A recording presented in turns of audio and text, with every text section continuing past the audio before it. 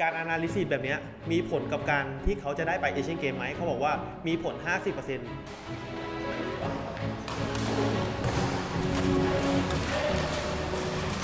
วันนี้ก็เป็นโอกาสดีครับ จะมาแชร์ประสบการณ์ ได้ทำการต้อนรับทีมเซปักตะกร้ออันดับท็อปของโลกนะครับ นั่นก็คือทีมชาติมาเลเซีย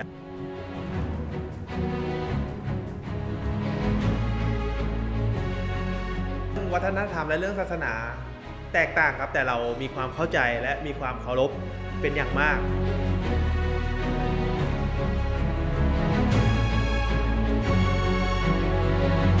เราสู้กันแค่ในสนาม แต่นอกสนามเราคือเพื่อนกัน Mantap. Raja Buri mantap. Raja Buri mantap. Raja Puri good place training.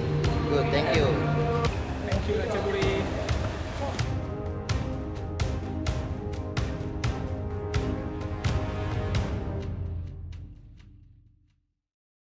สวัสดีครับ ผมท็อปรัตเดชน้อยเจริญจากสโมสรตะก้อราชบุรีนะครับ ก็จะมาเล่าประสบการณ์ทั้งหมด การเตรียมตัว แล้วก็สิ่งอำนวยความสะดวกที่ทางทีมชาติมาเลเซียนั้นต้องการทางสโมสรตะก้อราชบุรีมีการปรับตัว และมีการเตรียมตัวอย่างไรบ้างนั้น ไปชมกันเลยครับครับก็จะมาเล่าตั้งแต่วันแรกที่ไปรับทีมชาติมาเลเซียที่สนามบินนะครับ ก็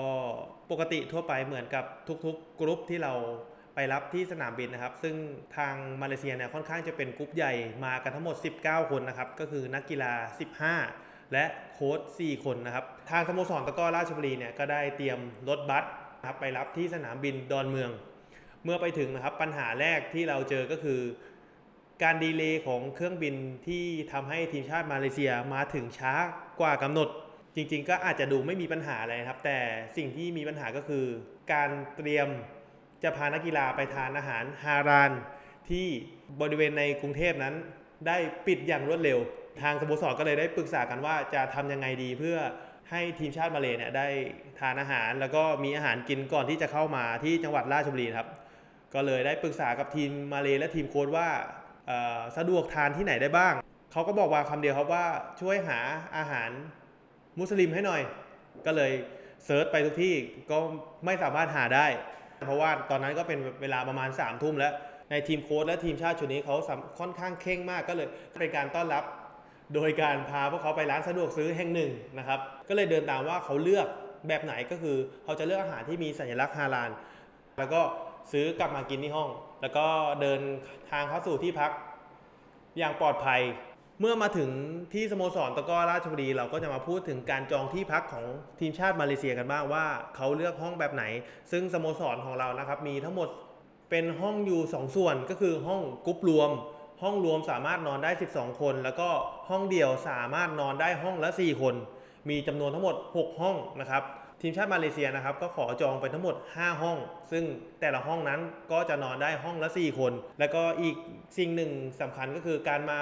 ซ้อมที่สโมสรตะกร้อราชบุรีครั้งนี้นะครับทีมชาติมาเลเซียไม่ได้เลือกใช้โค้ชของสโมสรตะกร้อราชบุรี เนื่องจากเขามีทีมโค้ชของเขามาด้วยนะครับจำนวน 4 ท่านทำไมเราต้องพูดถึงเรื่องนี้ เพราะว่าทุกๆกรุ๊ปที่มาที่สโมสรตะกร้อราชบุรีส่วนใหญ่จะใช้โค้ชของสโมสรตะกร้อราชบุรีเพื่อ train แต่ว่าในชาติต่างๆ อย่างเช่นไต้หวันญี่ปุ่นเกาหลีเนี่ยเขาจะมาเป็นกรุ๊ปเล็กๆ หรือว่าเป็นกรุ๊ปเด็กๆ ที่ต้องการปูพื้นฐาน แต่สำหรับกรุ๊ปมาเลเซียเนี่ยเป็นกรุ๊ปที่ใหญ่มาก แล้วก็เป็นทีมชุดใหญ่ของทีมชาติมาเลแน่นอนครับว่าการมาครั้งนี้เขาไม่ได้มาเล่นๆเขามาเตรียมตัวไปแข่งขันที่เอเชียนเกม แต่ก่อนที่จะไปเอเชียนเกมนั้น ทุกๆ การซ้อมของเขานะครับ จะประเมินและวัดผลเก็บทุกสถิติ เพื่อตัดตัวไปเอเชียนเกมครับ จากประสบการณ์ที่ผมได้ไปเล่นที่ประเทศมาเลเซีย มาเลเซีย ส่วนมากนักกีฬานับถือศาสนาอิสลาม ทุกกรุ๊ปที่มาเนี่ยจะสั่งอาหารที่สโมสรตะกร้อราชบุรีของเรา แต่เนื่องจากว่าเรายังไม่ค่อยเข้าใจด้านการทำอาหารมุสลิมมากนัก ก็เลยแก้ปัญหาโดยการพาไปร้านอาหารมุสลิม ตื่นเช้ามาผมก็ได้ไปคุยกับโค้ชเขาว่าสโมสรตะกร้อราชบุรีได้ติดต่อร้านอาหาร ฮาลานไว้ให้เป็นที่เรียบร้อยแล้ว พอพาเขาไปดูเขาได้มีการเทสก่อนว่ารสชาติอาหารเป็นไง แล้วก็ฮาลานจริงไหม ซึ่งโชคดีครับก็เขาโอเคแล้วก็ถูกใจกับรสชาติอาหาร โดยทางโค้ชของเขานะครับได้เลือกสั่งจากร้านอาหารมุสลิมนั้น เป็นจำนวน 3 มื้อทุกวัน ก็คือจะมาส่งในช่วงเวลาเช้า ช่วงเวลากลางวัน และช่วงเย็นในทุกๆวัน แล้วก็มีในช่วงวันว่างนะครับ เราก็พานักกีฬาทุกคนไป ทานที่ร้านอาหารนั้นนะครับ เพื่อให้เขาสบายใจว่าสิ่งที่เราคัดสรรให้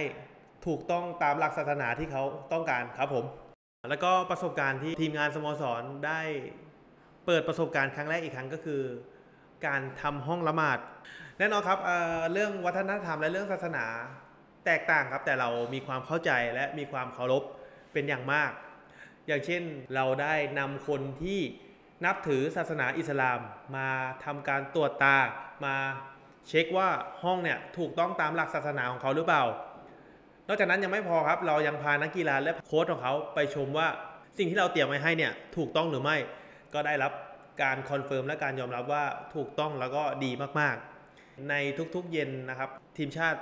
มาเลเซียเนี่ยจะรวมตัวกันละหมาดที่ห้องที่สโมสรได้ทำเตรียมไว้ให้ เป็นอีกหนึ่งสิ่งที่สโมสรตะกร้อราชบุรีตั้งใจทำให้ แล้วก็รู้สึกประทับใจที่ทีมชาติมาเลเซียประทับใจ ในทุกๆวันศุกร์นะครับ ผมก็เพิ่งทราบเหมือนกันว่าทางศาสนาอิสลามเนี่ยจะต้องรวมตัวกันไปที่มัสยิดนะครับทางสโมสรตะก้อราชบุรีก็เลยไปติดต่อมัสยิดที่อยู่ในจังหวัดราชบุรี เพื่อพานักกีฬาทั้งหมดนะครับ ไปทำการละหมาดในช่วงเวลาประมาณบ่ายโมงนะครับก็เลยพานักกีฬาทุกคนเนี่ยเข้าไปทำการละหมาด เป็นครั้งแรกของพวกเราทีมงานที่ได้เดินเข้าไปในมัสยิดนะครับ ในทุกๆชาติที่เข้ามาฝึกซ้อมที่สโมสรตะก้อราชบุรี เราอยากจะให้นักกีฬาทุกชาติเนี่ยรู้สึกว่าเขาได้อยู่ที่บ้าน ทุกอย่างที่เขาต้องการเพียงแค่บอกเราเราจะบริการแล้วก็เซอร์วิสให้อย่างดีที่สุดครับ นี่ก็คืออีกหนึ่งเหตุการณ์ที่สโมสรตะก้อราชบุรีประทับใจครับครับ เรื่องอำนวยความสะดวกต่างๆ ที่ทางนักกีฬาและทางโค้ชบอกเราเพิ่มเติมอย่างเช่น พาไปนวดนะครับ เราก็ได้มีโอกาสพานักกีฬาไปนวดที่ร้านนวด การนวดของเขาเราก็ไม่รู้ว่าวัฒนธรรมของเขาเป็นยังไง สิ่งที่เจอก็คือนักกีฬาบางคนเข่งมากๆ ก็ต้องการให้แต่ผู้ชายนวด นักกีฬาบางคนไม่ถือมากก็สามารถนวดได้ บางคนก็นวดไม่ได้ เราก็พยายามทำความเข้าใจแต่เราก็บริการอย่างเต็มที่โชคดีครับ ในที่ร้านนวดก็มีคนนวดเป็นมุสลิม ก็เลยทำให้ปัญหาต่างๆ ผ่านไปได้อย่างง่ายดายนะครับ แล้วก็อีกหนึ่งสิ่งที่ทางสโมสรตะก้อราชบุรีบริการนะครับ ก็คือการนำช่างตัดผมมาตัดให้นักกีฬาภายในสโมสรนะครับ จริง ๆ ทุกๆกรุ๊ปนะครับใครที่สนใจอยากจะได้อะไรเพียงแค่บอกเรามาครับ เราจะหามาให้สโมสรตะก้อราชบุรียินดีต้อนรับทุกชาติมากๆ ที่อยากจะเข้ามาที่สโมสรสโมสรทำให้เต็มที่แน่นอนครับ สุดท้ายนะครับเราก็จะมาพูดถึงการซ้อมของทีมชาติมาเลเซียกันบ้างว่าเขาซ้อมแตกต่างกับเราอย่างไรบ้างนะครับ หลังจากที่ผมได้สังเกตการซ้อมของเขาครับทีมมาเลเซียซ้อมกันค่อนข้างจริงจัง แล้วก็ซ้อมหนักมากๆ โดยเขาจะซ้อมทั้งหมด 3 เวลาด้วยกันนะครับ ตั้งแต่เวลา 6 โมงถึง 8 โมง 9 โมงครึ่งถึงเที่ยง แล้วก็บ่าย 3 ถึง 5 โมงเย็น แล้วก็แบ่งตำแหน่งชัดเจน โดยโค้ชเขาจะมีทั้งหมด 4 คนจะแยกออกเป็น แต่ละตำแหน่งโค้ชตัวเสิร์ฟโค้ชตัวชงโค้ชตัวทำแล้วก็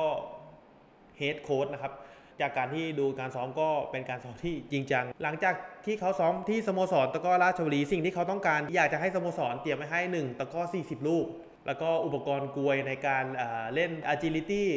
เข้าฐาน แล้วก็ยางรถยนต์ เชือกกระโดด แล้วก็น้ำการแช่น้ำแข็งค่อนข้างจะคล้ายกับนักตะก้อทีมชาติของบ้านเรา พอสมควร แต่สิ่งที่ผมแปลกใจแล้วก็รู้สึกเซอร์ไพรส์ก็คือ ในสัปดาห์ที่2เนี่ยมีทีมจากการกีฬาของประเทศเขานะครับ ส่งมาเพื่อ analysis process ก็คือการวิเคราะห์นักกีฬาในแต่ละคน โดยการตั้งกล้องไว้ที่ชั้น 2 ของสโมสร แล้วก็บันทึกทุกสถิติของนักกีฬาว่าคนไหนเสิร์ฟเสียเท่าไหร่ คนไหน เล่นเป็นยังไงบ้าง สัปดาห์สุดท้ายก่อนที่เขาจะไปที่พัทยาครับเนี่ยผมได้เดินเข้าไปคุยกับทีม Analysis ของเขาเนี่ยว่าผลวิเคราะห์เป็นยังไงบ้าง ก็ออกมาเป็นนักกีฬา 15 คนสมมุติว่ามีแบ็ค5คน เราจะเห็นเลยว่าอันแบ็คอันดับ 1 อันดับ2อันดับ 3 อันดับ 4 อันดับ 5 เป็นใครบ้าง ตำแหน่งตัวชงอันดับ 1-5 เป็นใครบ้าง และตัวเตะอันดับ 1-5 เป็นใครบ้าง ผมก็เลยถามว่า การ analysis แบบนี้มีผลกับการที่เขาจะได้ไปเอเชียนเกมไหมเขาบอกว่ามีผล 50%โดยผลของการวิเคราะห์เนี่ยจะทำให้โค้ชเขาเนี่ยสามารถตัดสินใจได้มากขึ้นว่าโค้ชเนี่ยต้องการจะใช้ใคร โดยจะดูจากผลประเมินตรงนี้ก่อนนะครับในขั้นต้น การประเมินอันเนี้ยในทุกๆ ครั้งที่นักกีฬาเขาลงทีมหรือลงซ้อมเนี่ยจะมีผลกับเขามากๆ นั่นก็เลยทำให้ผมรู้สึกว่าการทำงานของ การกีฬาของมาเลเนี่ยเอาจริงเอาจังมาก แล้วก็มีการบันทึกสถิติ การประเมินผลที่จับต้องได้ นี่เป็นสิ่งที่ผมคิดว่ามาเลเซียเอาจริงครับ ช่วงสุดท้ายของทีมชาติมาเลนะครับ ก็เขาต้องการจะไปร่วมการแข่งขันเซปตะก้อพัทยาครับที่พัทยาจังหวัดชนบุรีนะครับ ให้ทางสโมสรตะก้อราชบุรีทำการติดต่อที่พัก ติดต่อรถตู้จำนวน 2 คัน แล้วก็ติดต่อรถขนของเพื่อไปที่พัทยา โดยการเข้าร่วมของการแข่งขันในครั้งนี้นะครับ ก็เป็นเรื่องน่าเสียดายนะครับที่ทีมชาติมาเลเซียไม่มีทีมไหนได้เข้าชิงนะครับแล้วก็ไม่เป็นไรครับ ถือว่าเป็นประสบการณ์ แล้วก็เป็นการประเมินผลไปในตัว แน่นอนครับการไปแข่งขันครั้งนี้ ทางสโมสรตะก้อราชบุรีได้ตามไปบริการถึงที่นะครับ ก็ตามไปเช็คเรื่องโรงแรม ตามไปดูแลเรื่องรถตู้ ตามไป หาร้านอาหารฮาลาลให้เขานะครับ เพื่ออำนวยความสะดวกให้เขาทีมชาติมาเลเซียก็ขอบคุณสโมสรตะก้อราชบุรี แล้วก็ทางสโมสรตะก้อราชบุรีก็รู้สึกขอบคุณที่เชื่อใจเราแล้วก็มาซ้อมที่สโมสรตะก้อราชบุรี เป็นประสบการณ์ที่สโมสรไม่เคยทำมาก่อน อย่างเช่น ไปมัสยิดได้รู้จักอาหารฮาลาลได้รู้จักวัฒนธรรมนะครับ ทำให้เราได้เจอเพื่อนใหม่แล้วก็จริง ๆ แล้วคนมาเลเซียรักคนไทยมากนะครับก็เราสู้กันแค่ในสนาม แต่นอกสนามเราคือเพื่อนกันนะครับมีอะไรช่วยเหลือกัน แล้วก็พัฒนาตะก้อไปร่วมกันจริง ๆ เป้าหมายของสโมสรตะก้อราชบุรีครับอยากจะเผยแพร่ตะก้อแล้วก็อยากจะเป็นที่ให้นักตะก้อจากทั่วโลกเนี่ยมาฝึกซ้อม เพราะว่าทางสโมสรตะก้อราชบุรีมีความพร้อม ทั้งสนามซ้อมแล้วก็ที่พัก อย่างนักกีฬามาเลยนะครับเก็บตัวที่ประเทศของเขา เขาต้องใช้เวลาจากที่พักของเขาเดินไปที่สนามซ้อมถึง 10 นาที แต่ที่สโมสรตะก้อราชบุรีใช้เวลาเพียงแค่ 30 วินาทีจากห้องนอนลงมาสนาม นี่คือจุดเด่นของเราครับ แล้วเจอกันใหม่คลิปหน้า ถ้าชอบกดไลค์กดแชร์ และอย่าลืมติดตามผลงานของพวกเรานะครับวันนี้สวัสดีครับ